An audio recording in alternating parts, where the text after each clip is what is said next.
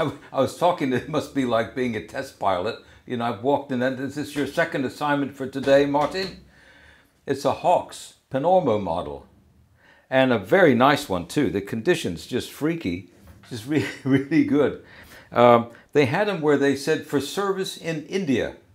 Hawkes and Company did. You could pay an extra couple of pence, and you got ebony pegs in all the corners, and the uh, the back block here.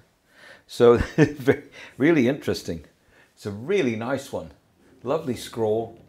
It's been converted to five strings. And it's just been done. It's just come from our workshop. And because I can smell the varnish, so it must have just been done like maybe yesterday. Beautiful job. Look at that nice neck that they do.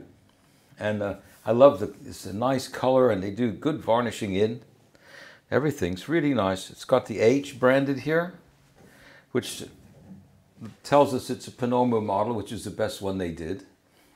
Uh, I'm standing behind this. I had a I had a real Panormo for about 25 years, and I'm just thinking, how in the blazes did I do that? But I thought probably getting smaller. Anyway, here we go.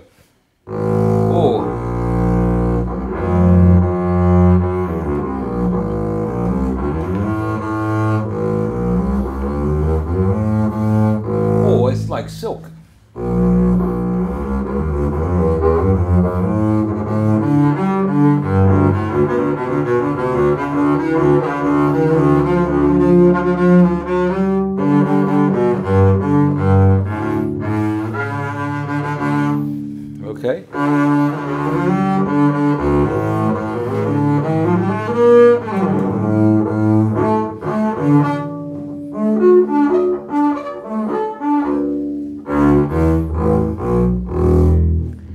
Oh, that's huge.